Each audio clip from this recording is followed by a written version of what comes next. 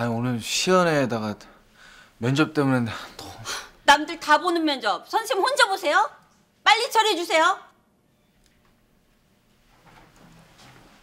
예.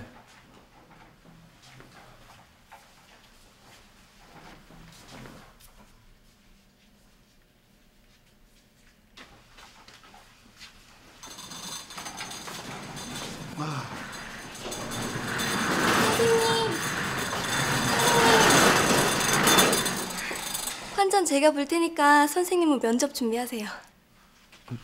괜찮은데 제가 본다니까요. 고맙습니다.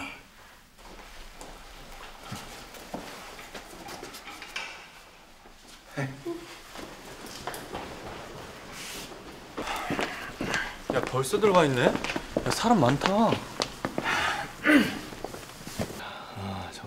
저울증, 동력결 가스분성 시면 황기상태 가스관, 황... 아유, 황기상, 황기상태. 첨자분 자세 요거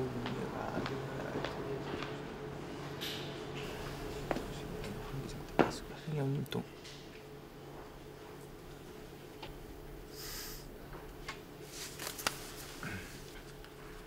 그러다 1등 하겠다.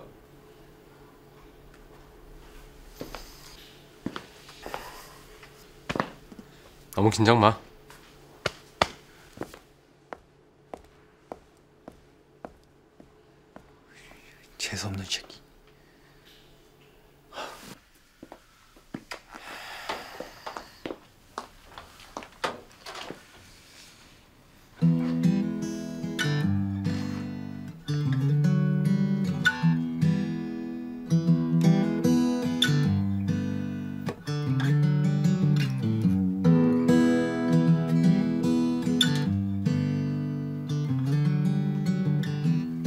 정하윤 이 친구는 이력이 특이하군 법대 졸업에다 사법시험까지 패스했고 백현우 나 이거야 원 의대 인턴 성적이 1등인 친구가 우리 외과를 지원하다니 에이, 이거 오래 살고 볼 일이야 매번 미달될까 걱정했는데 이번엔 누굴 떨어뜨려야 될지 고민입니다. 이게 다 한기태 선생 연구 실적 때문입니다. 그래 역시 스타가 있어야 돼 자 시작하지 다 들어오라고 해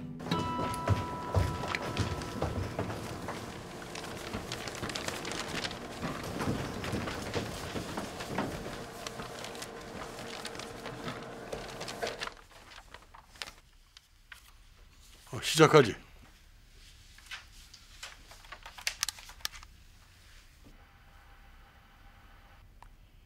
오늘 면접은 컨퍼런스로 대처한다. 주제는 오늘의 이할 상황이야.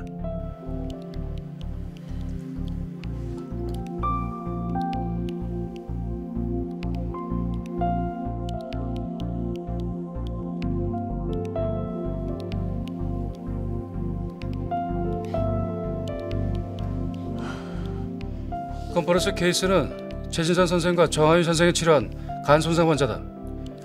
최진상 선생이 프레젠테이션 하지. 네. 28세 외국인 노동자 환자로 건물 붕괴 사고로 둔상에 의해 liver가 손상되었습니다. 이할 내원 당시 응급도가 낮아 초록색 스티커로 분류되었으나 환자의 vital이 불안해지고 복부 불편감과 압통이 있어 복강내 출혈을 의심하게 되었습니다. 복강내 출혈을 의심한 이유. 네, 촉진을 해본 결과 abdominal distension과 rebound tenderness가 있었습니다. 어떤 처치를 했나? 저 그- 그게 최진상 선생의 처치는 right subclavian vein으로 central line insertion한 것이었습니다.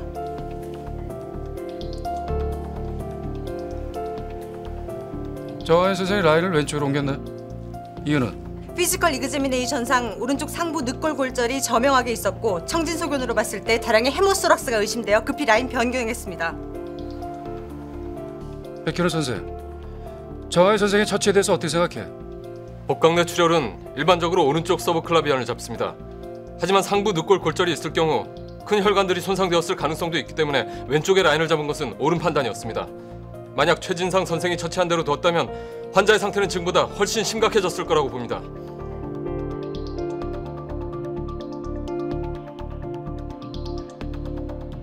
정하인 선생, 왜 환자의 흉부에다가 주사 바늘을 꽂았는지 그 이유가 뭐야? 텐전 유모소락스가 생겨 응급처치한 것입니다. 박재현 선생, 유모소락스가 생긴 원인은 뭐라고 생각하나? 전 최진상 선생의 서투른 서브클라비안이 환자인 유모소락스의 직접적인 원인이라고 봅니다. 최진산 선생, 이 의견에 대해서 할 말 있나? 네, 물론 제가 실시한 서브클라비안 때문일 수도 있습니다. 하지만 환자는 이미 늑골 골절로 인해 폐 손상을 입었기 때문에 제가 실시한 서브클라비안이 원인이라고 단정하기는 좀 어렵다고 봅니다. 전혀 아니라고 배제할 수는 없다고 생각합니다.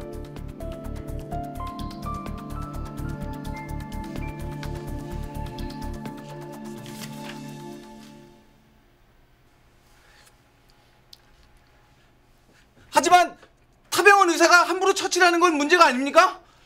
오늘 상황이 상황인 만큼 그건 중요하지 않다고 생각합니다. 백현우 선생 어떻게 생각해?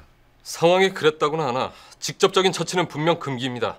책임 소재가 불분명해지니까요. 그건 저도 충분히 압니다. 그래서 모든 책임을 제가 질 생각이었습니다. 모두 책임져요?